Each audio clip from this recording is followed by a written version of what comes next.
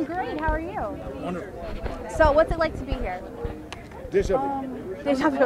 All over again. Yeah, it's, uh, it's a lot of fun. It's- it's- it could be for a better thing, you know, 50 years for the soap. and It's one of my favorite roles of all time. And you're part of one of the most iconic moments on the show. What can you tell? I will never us? live that down, will I? You won't. But what can you tell us about filming that? Or what, what do you remember about Uh, it was a surprise to me. I did not know how he was going to be under there.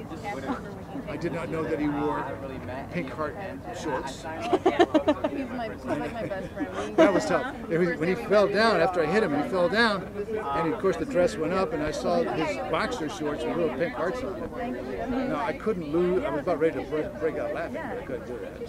So. But anyway, he was wonderful. It's how he was one of the greatest moments of soap history, I think. I, I agree. And you had a, you had a return. Um, I did. I came back. About, I came about back. 15 years ago. About 12, Uh, seven years ago, I guess it was, and uh, I worked there for about another eight months, Mm-hmm. and I had a lot of fun. And uh, What's it like when you go back when it's been so long? it's home. It's old.